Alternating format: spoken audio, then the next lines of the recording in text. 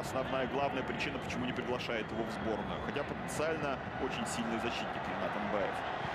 Удар, а вот видите, то, что надо было для того, чтобы хотя бы вот в матче за сборную, тем более в матче за сборную, уверенность в себе появилась. Деньяр Беллидинов забивает свой первый мяч в пяти матчах отборочного цикла. Это очень здорово. Шестой гол. И браво, Деньяр. Неожиданно с левой ноги издали. По-моему, вратарь не ждал этого удара, так же, как и защитники. Итак, первый удар у Беллидинова не прошел, а вот второй получился очень точным. Самый-самый уголок. Подработал, конечно же, не с правой, с левой ноги. Если хотите, результативная передача, голевой пас Алана Дзагоева.